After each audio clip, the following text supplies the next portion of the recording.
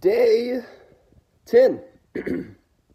I'm uh, almost at the end of this uh, isolation time, guys. I'm excited.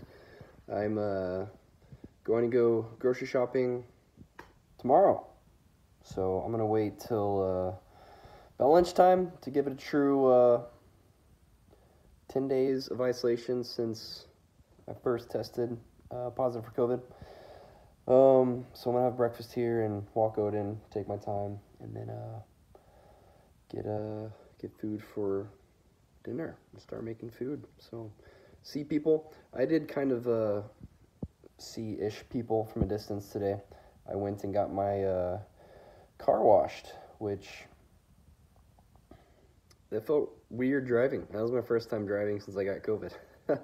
so it was uh like nine and a half days um, since I drove, or yeah, yeah, just since I drove my car. Um, so that felt really weird driving, but that was pretty funny. Um, let's see, let's see, let's see. Uh, I still have some like, uh,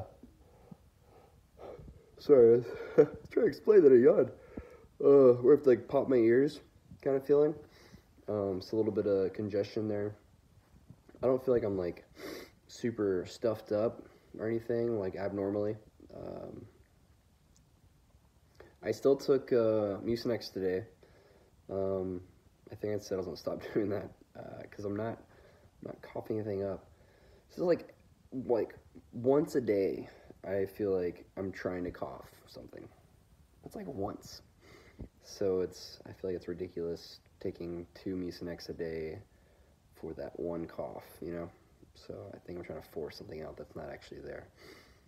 Um, might help me uh, feel better too. I'm not throwing more meds at my liver than need be. Um, but still taking my multivitamin and my vitamin C shot, um, which is my Emergen-C. So taking that uh, every day. Um, energy wise, I feel feel good.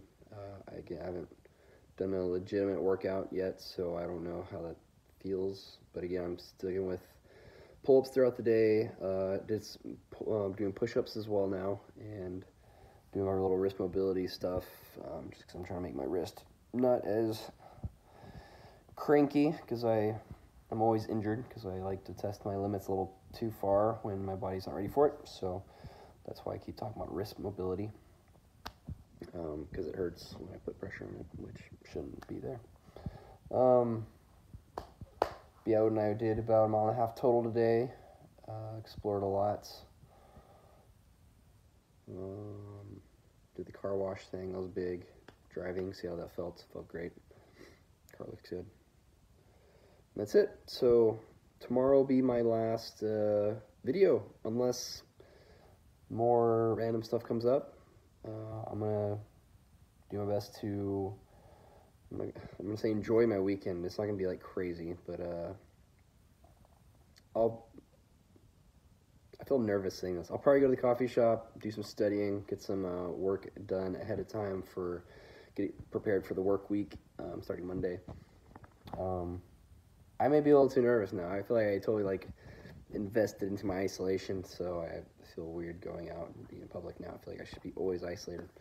Um, but I want to get better, and I want to feel 200% better. And so I'm just nervous now that I'm, once I put myself in public, I won't feel as good as I should. Or, I don't know. It's funny. Got a little nervous doing this, which I've been the complete opposite during this entire time of COVID.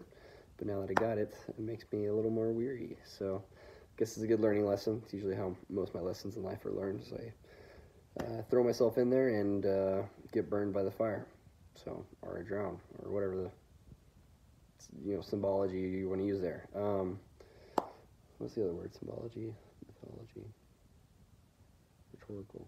I can't think of that word. Metronome. Dang, one of y'all are gonna get that word, and you're gonna tell me on this on this clip. Anyways, uh, so that's the update. Um, tomorrow will be the last one. So See you then. I'll miss doing videos with you guys.